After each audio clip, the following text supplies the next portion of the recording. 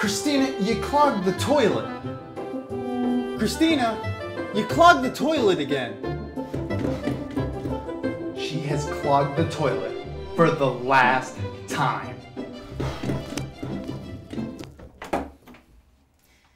Dan?